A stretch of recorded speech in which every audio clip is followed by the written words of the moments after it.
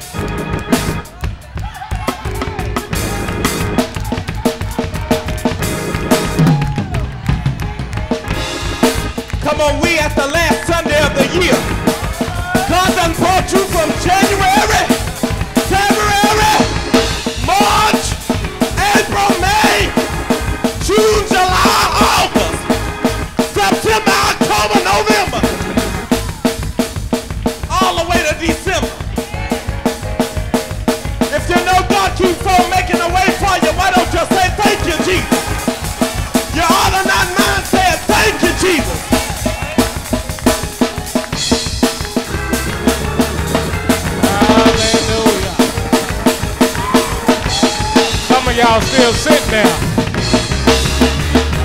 You haven't thought about it yet, how good God has made a way.